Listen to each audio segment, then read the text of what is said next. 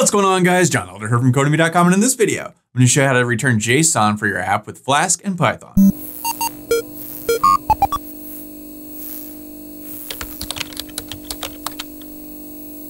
Alright guys, like I said, in this video, we're going to look at returning JSON. But before we get started, if you like this video want to see more like it, be sure to smash the like button below, subscribe to the channel, give me a thumbs up for the YouTube algorithm, and check out Codemy.com where I have dozens of courses with hundreds of videos that teach you to code. Use coupon code YouTube1 to get $30 off memberships, all my courses, videos, and books. One-time fee just $49, which is insanely cheap. Okay, like I said, in this video, we're gonna look at returning JSON. So I just have a very basic thing here, re returning the date.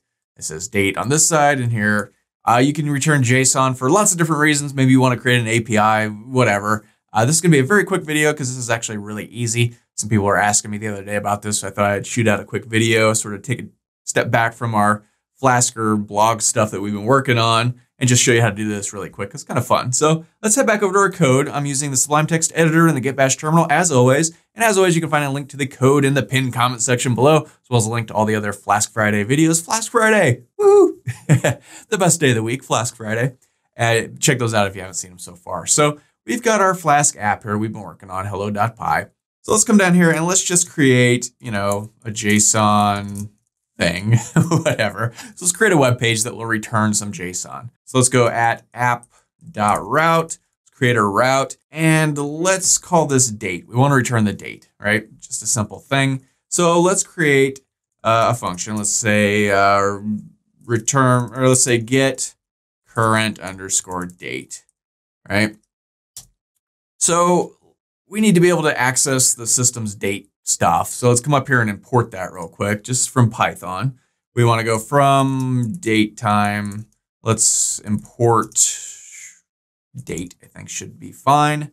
All right, so now we can use that. So let's come down here and inside this function, all we want to do here is return some JSON. So how do we do that? Well, back in the day with Flask, you had to use something called JSONify. You don't actually have to do that anymore. If you return a dictionary, just a Python dictionary, Flask will JSONify it for you. It will turn it into JSON. So that's really cool. So we could just return any Python dictionary.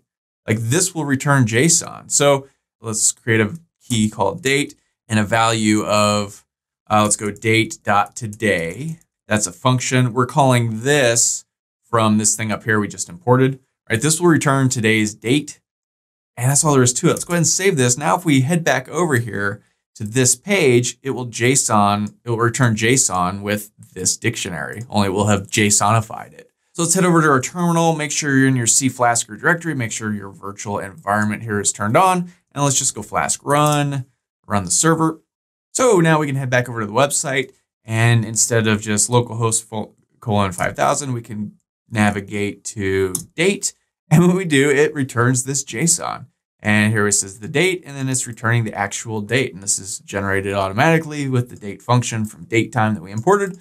And that's all there is to it. So really cool, really easy way to start to build out an API using JSON. And we can do anything we want with this. So like if we came back over here and instead of doing that, let's create a favorite underscore pizza and set that equal to Python dictionary. And we can say John likes pepperoni and, and Mary likes cheese.